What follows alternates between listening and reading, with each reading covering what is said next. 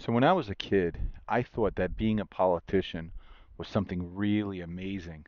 A person gets to be a community leader, or even more so, uh, a leader of the country, head of state, and I just I thought that they were like these all-powerful beings. And then as you get older, you just realize it's a life choice. Some people decide to be a trucker, some people decide to be a doctor, other people decide to be politicians and they're not special. They're only as good as the actions they take.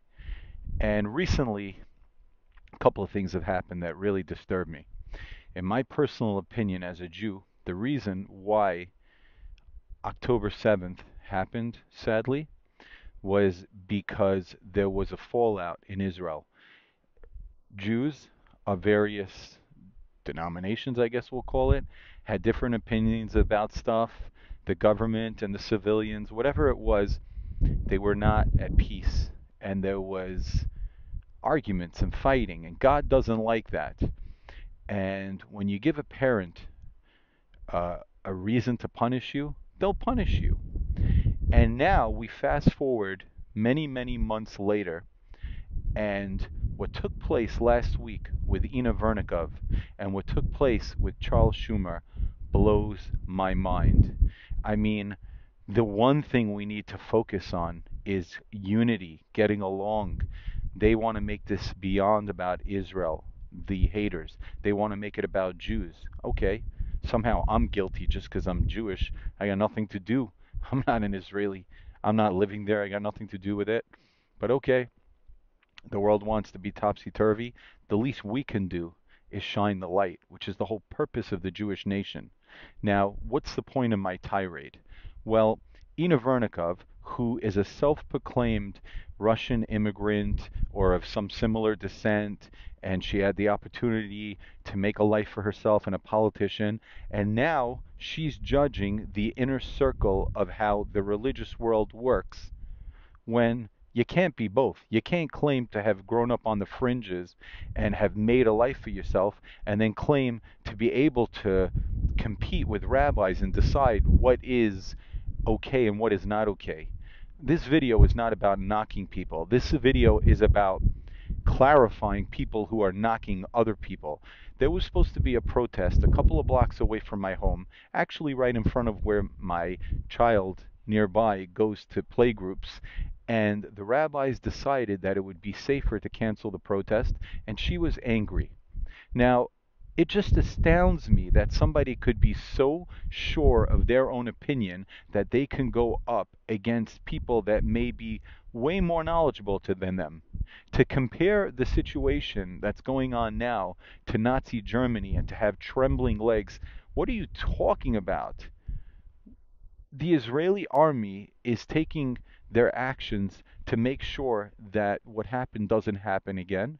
And they are in power, they're in control, they're handling their business. And we have to deal with the reactions here at home. And if there are ways to do things in a safe way, let it be. Where do you come off to have the arrogance to think that you know better than mainstream society's greatest leaders. When conflict can be avoided, you avoid it. Not everybody has the ability to go into Brooklyn College, protest with a handgun in plain sight, and then so called get arrested. I'm sure that was a really tough experience. I'm sure you spent a lot of time in central booking. Come on.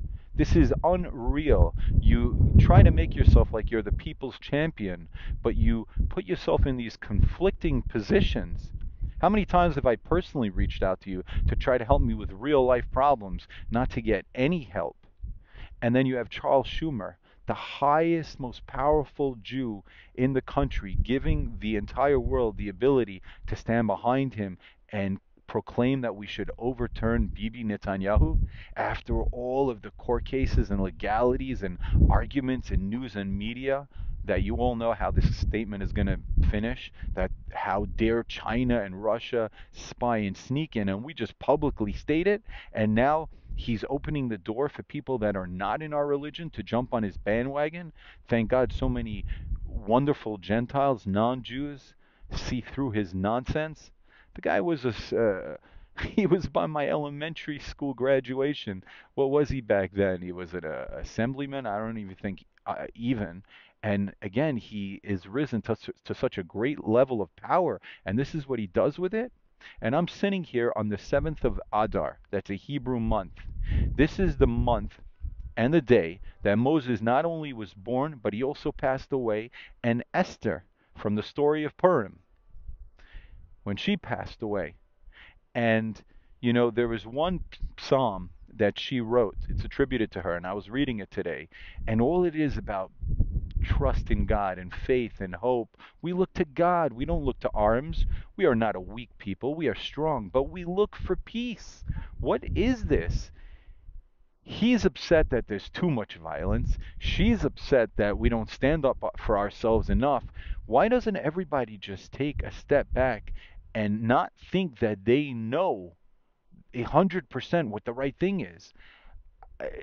To not to compare, but the thing that always amazed me about Adolf Hitler was his confidence in his belief system, and I think that's how he won over the people. He was just so sure.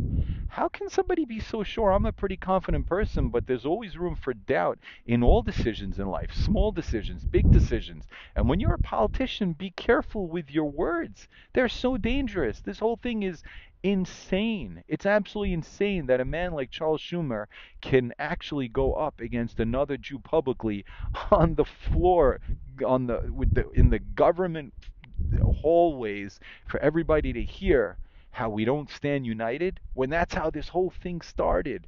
And then you have another one. You have Inna Vernikov standing there all upset that we figured out a way. And by the way, this whole real estate expo, who's it for? $1.4 million apartments in the heart of Israel. Yes, true. There's a lot of propaganda. All these pro uh, Gaza protesters are switching it around that we're trying to sell Gaza land, which is bizarre. But what about us Jews? These real estate expos are not even for us, anyways. They're for the mega wealthy. Who's going to run off to Israel, where it's so hard to make a living, and then buy these few million dollar apartments? We don't need these expos to begin with. Go make them somewhere else. This whole thing is preposterous from beginning to end. You want to do the right thing, learn from Moses, from Moshe Rabbeinu, learn from Esther Hamalka. These were the greatest of leaders, and they had empathy, compassion, love. They stood strong and proud at the right times, and they were humble and tried peace at the right times. You have it all backwards, both of you. I don't necessarily agree with Bibi Netanyahu. I have completely different opinions of the entire Gazan war than the average um, Jew that's standing blindly behind this entire thing. But not for a moment do I think I have the right to stand on the floor of the American government and try to oust Netanyahu. That's what your whole career brought you to? This moment?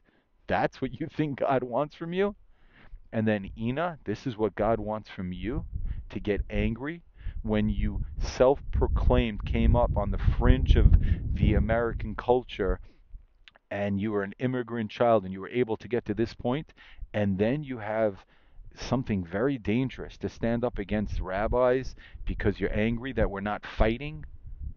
Everybody has their own way to fight, to deal, to grieve this entire situation. You don't know it all. This is terrible. This is really, really terrible. And I would love to hear everybody's feedback.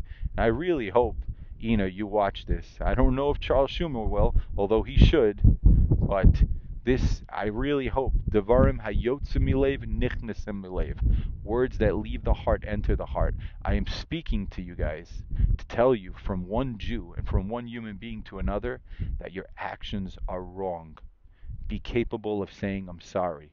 Don't just be another politician with an agenda and then stand behind it with all your might. That's not the right way.